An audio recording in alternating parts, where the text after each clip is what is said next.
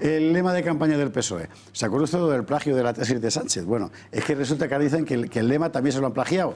Una asociación de estudiantes que dice que eso de haz que pase era cosa, era cosa suya. Cristina Ramos nos lo cuenta. Desde que Pedro Sánchez preparase su eslogan de campaña para las próximas elecciones del 28 de abril, ¿hacemos que pase?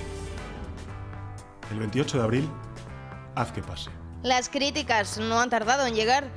Primero fueron las del Partido Popular, que publicaron una parodia del lema del PSOE inspirada en Titanic. Y hoy las críticas llegan por parte de los alumnos de la Universidad Autónoma de Madrid, porque precisamente allí, en la Facultad de Políticas, hace unas semanas se celebraban unas jornadas con ese mismo lema, haz que pase.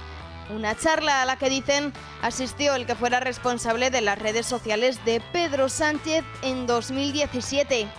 Haz que pase es el hashtag que usaron también en otra universidad, esta vez en la Rey Juan Carlos. Con este lema se anunciaban en las redes sociales para darse a conocer y hacer publicidad de sus cursos, sus estudios y también de sus instalaciones.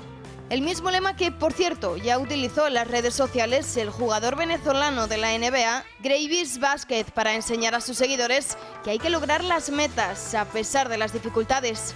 Y por último, otro caso más que demostraría la poca creatividad del equipo de Sánchez es este. Bajo ese mismo lema de Haz que pase, se registra una empresa española especialista en coaching.